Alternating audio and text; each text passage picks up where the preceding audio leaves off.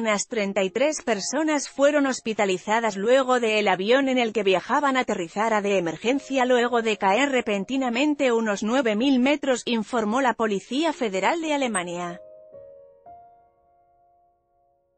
Lee más, avión se desploma en Alaska, todos sobreviven el avión de la aerolínea económica Ryanair, tuvo que hacer la escala en el aeropuerto de Frankfurt-Hahn.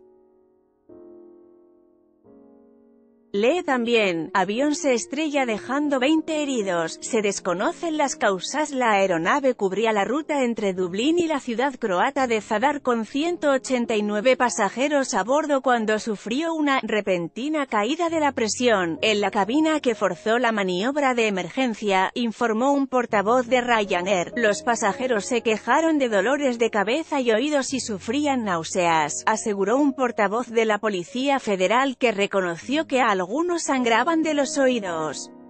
Varios de los viajeros ya fueron dados de alta pero otros más permanecen aún internados en el hospital.